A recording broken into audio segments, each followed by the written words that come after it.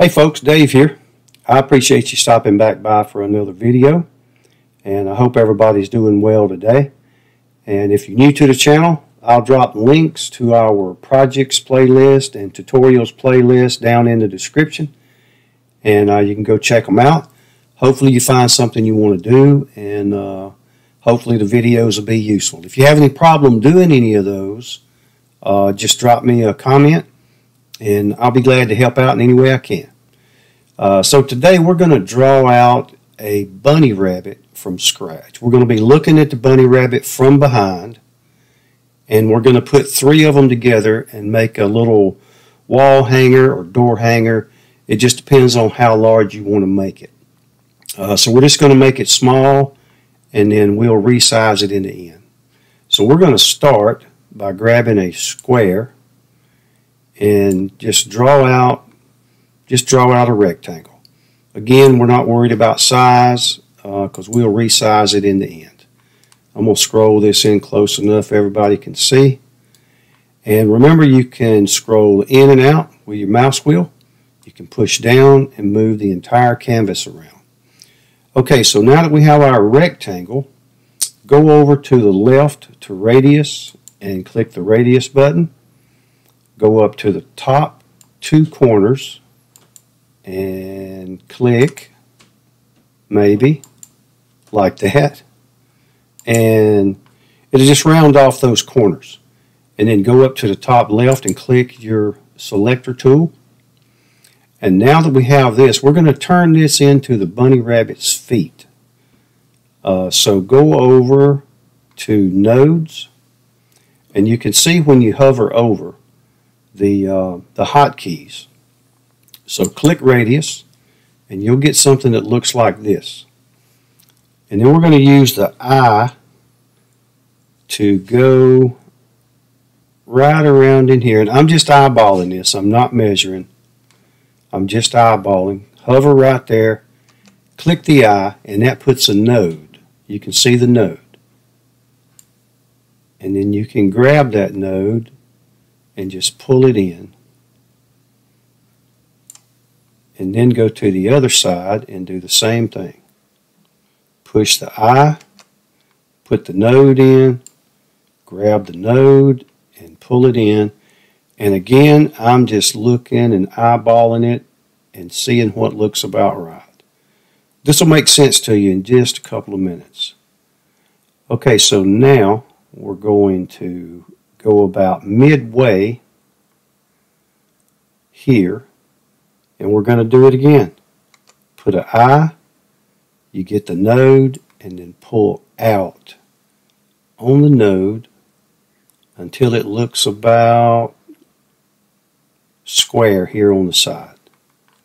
And then we're going to do the same thing over here. I know this looks wonky, but we it, it'll make sense in just a minute. Then we're going to do that on the other side. So now you have this. So go up and click your selector tool. Then we're going to go back down to the radius tool. Click that. And then these two corners we created, you can just click those corners and round it off. And then click your selector tool. Now, you have bunny feet. If you're looking at the bunny from the back and he's just kind of squatting down.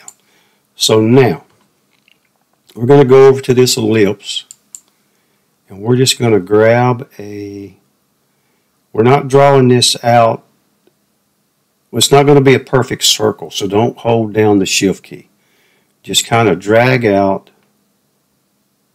something that looks about like that kind of halfway between an egg and a circle and just let go and hit your selector tool just pull it down in there somewhere about like so. And that should do it. So then, with it selected, uh, now use the shift key and select the bottom portion and then go over to the left and click weld. Now we have this. Now go up and grab your uh, ellipse again And now this one, just draw it out. No, don't push the shift key. And make it a little more oblong, almost like an egg. Click your selector tool. Then you can click shift and select your other piece and then click vertical alignment. And with the update, the aligning tools, alignment tools have started to come up this way, unless I'm doing something wrong. So we're going to, that is not what I wanted. So I'm clicking Control Z. Let's try this one. There we go. That's what we want. We want vertical center. I make a lot of mistakes, folks, but that's okay. You can watch me make them, and it help it'll help you to make less. Uh, so now, I think I'm going to spread this out a little bit. This is the rabbit's head. I know it don't look like it now, but it will. Something like that, and you do what looks good to you. And then, depending on the size wood you're going to use to cut this out of, uh, then you can resize this and cut it any way you want. We're going to save it as a uh, as a vector and then uh, you'll be able to pull it up anytime you want. And it'll be your vector. You can use it in any way you want to. All right so now we're going to shift select our bottom portion and go over here and click weld. Okay now this rabbit needs some ears. So grab your ellipse again and then just draw out something that looks like that let go, click your selector tool, you can click Control D for duplicate and pull that out. So we're going to make one rabbit with two ears. Well, they're all going to have two ears, but uh, the two outside rabbits will have a bent ear. But we'll get to that in a minute. So we're going to fix this guy up here with his ears. And then you can just turn that once you get them sized up. And you can have your rabbit look however you want to. This is just him sitting down, looking away from you. Okay, that looks pretty good. So now what we're going to do is weld these, but then we're going to back it. So select one ear, then select the, the full rabbit, click weld, and while it's selected, shift, select the other ear, and click weld. Okay, now we're going to hit Control D and duplicate this and pull it off to the side. Because we are going to alter one of these. I could have done that a couple of ways, but that's okay. I, I lose track of what I'm doing sometimes. So I'm just going to draw out another piece of an ear like this. Click the selector tool. Bring it over. What we want to do is make it look like his ear is flopping over from the back a little bit. Like that. He's got a piece of ear flopping over Something like that.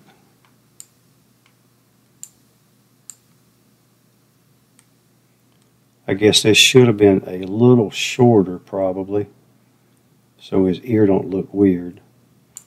I tell you what, I'm going to back up some. I'm backing up with Control Z and I'm going to make this guy first which is what I should have done to begin with. But that's okay. We'll we'll get there. See, you can watch me mess up, and then you don't have to as much. You'll still mess up, but that's okay. All right, so now we got this guy. We're going to duplicate it. I just right-clicked and done a duplicate then. We're going to weld this back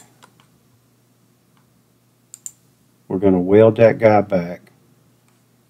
And then we're going to weld this one onto here. We're going to make it shorter, like so. Now it looks like he's got a piece of ear. And just pull them together up top, kind of like that.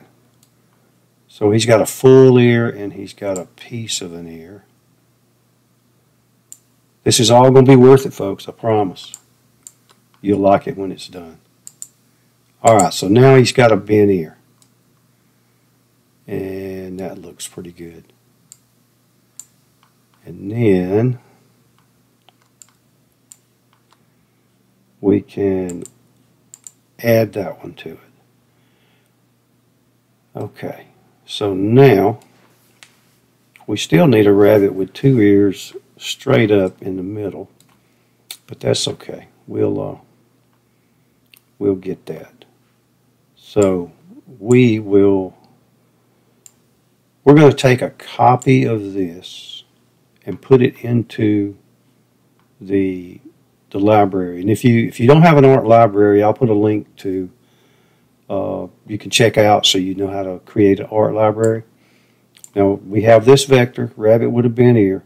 We're going to go over it selected, go over to your art library and click import graphic from project. Rabbit bent ear.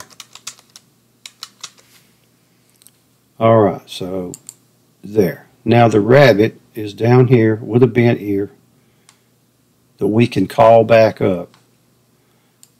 So now I'm going to back this up and get that ear straight because I can pull this one back up anytime I want to. So now I'm just control Z to get back. I'm sorry if this is too long, but you need to know how to do some of these things.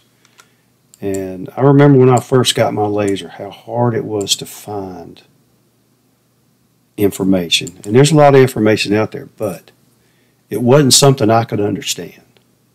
So, all right, now we want a rabbit with two straight ears.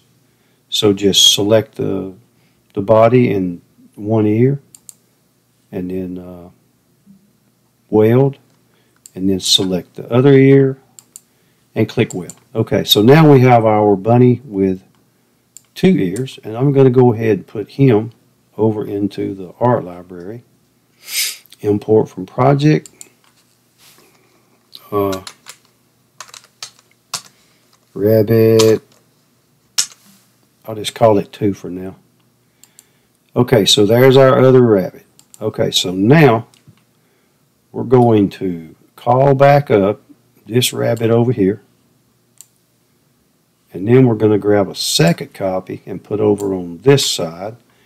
And with this one selected, go over to arrange and flip uh, horizontal. That way you have a a ear leaning off to the right and one off to the left. Now you've got options on how you could do this. You could, if you're doing something really small, you could just weld these together. Um, and then you would have to keep one to show an outline. Or you could cut three of them out and then glue them together, which I believe is what we'll do and then just put the uh, the one with the straight ears on top.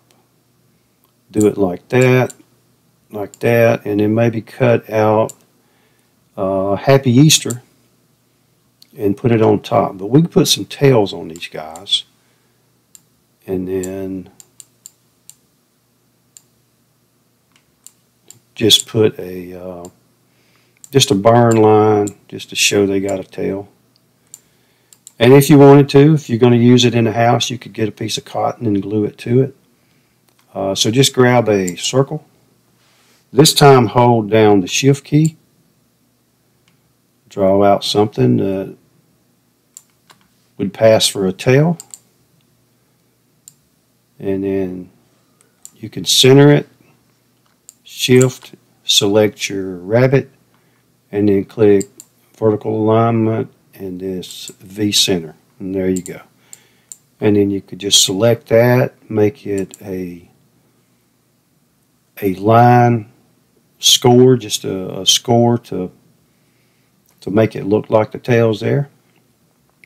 Uh, let's see. Let's see how tall these are. I'm going to check it in inches real quick right here. You got a little switch. You can go from millimeters to inches. And it's about 9 inches tall, which is fine. So I think we'll cut three of these out and see how it looks. So I'm going to duplicate this. And again, you can right click and duplicate or you can select it and click Control D. And you can pull one over here, do it again, Control D, and pull one over here. And then you just need to center these. And go to vertical center, V-line. This is uh, version 1.5.02. It just came out a few days ago. Uh, so I'm, it changed that, the alignment tools. At, at least for me, they did anyway. I clicked the wrong thing. I do that sometimes. Okay, so let's see. Let's uh, let's write out Happy Easter. I'm going to put these guys together. I'm just going to group this for now. Right click, and you can group up top right here, this little group button. Select everything and group, or you can right click and group. So these guys are about 9 inches tall right now. And a standard, uh, the bass, basswood plywood, you know, is runs about 12 by 12, 11 and a half by 11 and a half, something like that. And then we will put this guy on top.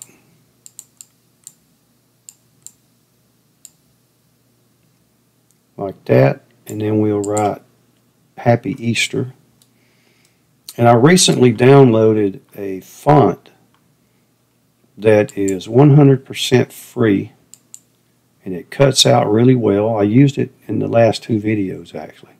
It's called Ballet Harmony. And um, I'll put a link to that so you can go download it. But it, it writes out pretty good. Cuts out pretty good, I mean. So I'm going happy. Now notice that this is not yet tied together when you type it out. But if you have the weld option up top selected, when you click the selector tool, it welds all those together. And then of course that needs to be a cut. Alright, so we're going to write these out separately, so I'll click it again, leave it at the same height. Note again that it overlaps except for the R. The R doesn't overlap, so we're going to have to fix that. Um, click the selector tool. Okay, we're going to make this work. So if you uh, have letters that don't connect, just select everything. You can right click and right here, make sure you convert to path. Now once you convert it to path, it's not really letters anymore, it's objects. And you can't, see how they move individually like that? So I'm pushing Control Z to put it back because these, these little cutouts are not attached. But what we've got to do is make this, make the A touch the S, and make the R touch right here so it'll cut out as a whole. So we've got to, if you pull, when you're selecting something, if you pull from the right, all you have to do is touch it and it'll select. You pull from the left, it won't do that. It only selects what you surround completely. So you'd have to go around the entire piece. But what we want to do is attach these center pieces so we can then weld the rest of the word to it. So pull from the right, grab both of those, and then you can just you can group them. You don't have to weld it, you can group them. And then the same thing here for this piece and this piece. We have to catch, and if you just touch it with the green line, you can do that. And then this little bitty piece right here, same thing. So grab it and then group. Now, this you can just grab as one and pull it over toward that A like so. And you can see that it's overlapped and touched here and here. And then you can shift, select the EA, and click weld, and now you have it all together. So now we need this to touch and try to keep it from looking weird when we do. Uh, I think that still looks like an R. And it may cut out a little flimsy. If it does, then uh, there's ways uh, to deal with that. But if you glue it on, it, it's going to be fine. Just be careful with it cutting it out. Probably get it a little closer right there. Okay, and then shift, select the rest of the word, click weld, and there we go. Now it's all one word. And uh, then we will put this down here and find out the best way to, uh, uh we didn't want to do that. We're going to resize these and make them look good. So there's happy. We can put happy there. And again, we're cutting these out and then they will, uh, then we'll glue them on and you can glue them on anywhere you want to. And when you're working with Lightburn it only cuts out what you select. So if we just wanted to cut that one thing out, uh, that one word, as long as that's all we've got selected, it will, uh, that's all it'll cut. Okay, so we're about ready to get to the laser. Excuse me. And then we will cut these all out individually. And if I can't fit them all on one piece of wood, I'll just uh, switch out and put them on another piece of wood. And then you can do it however you want. You can, uh, if you've got an extended bed, uh, you could cut out a uh, a big door hanger. I've got an extended bed, but uh, I don't need another door hanger, so uh, I'll just cut it small, and then you cut it however you want. Okay, folks, let me. Uh, oh, one thing. Look off to the top right. Uh, when you do have a a score or an engrave, be sure to grab that and move it up above the cut line. You want to score and then cut last. Okay, folks, let me get to the laser and we will get this cut out and see what it looks like. Be right back. Okay, so I believe we're ready. Uh, I resized the rabbits down to about uh, six inches in height. So when you're resizing, grab everything you've got uh, laid out together and resize it as one uh, so everything fits the way you intended. Uh, so, okay, let's cut this out and uh, see what it looks like.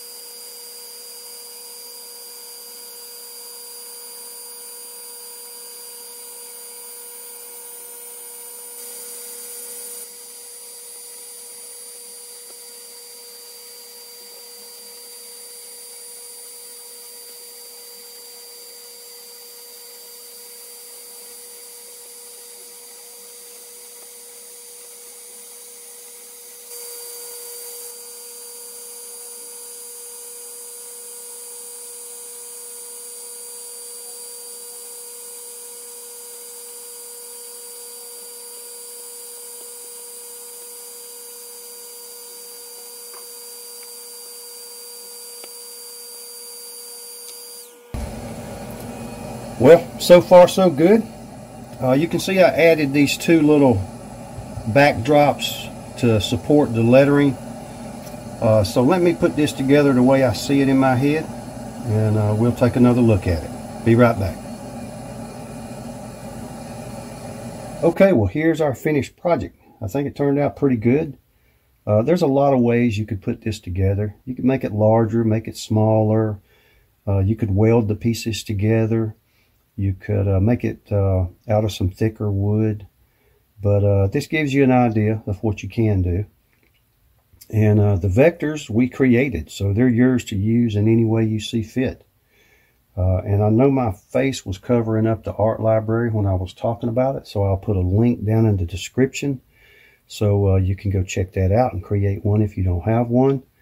And uh, if you have questions, just let me know. I'll also put a link for the um, Ballet Harmony font. So you can go get that free and it is 100% free. So you can use it in commercial projects. And I'll also put links to uh, our projects and tutorials playlist. And uh, hopefully you find something in there that you like doing or something that's helpful. And again, if you have any questions, just drop them in the comments and uh, I'll help out. Uh, the comments help me to learn because uh, uh, February made one year that I've had a laser, and uh, there's a lot of there's a lot of a lot to learn. And uh, I know when you get when you first get a laser, you start looking for how to do things, and it's not as simple as uh, it it appears in some of the videos. Uh, it's a lot of work figuring out and learning how to do things. So, if there's some general questions I can help out with, a laser or a Lightburn, just let me know and I'll uh, give you the benefit of what knowledge I've gained so far. So uh, I appreciate you folks watching. It does help the channel grow. And I thank you for your time. Uh, y'all just take care and we'll see you next time. Thank you.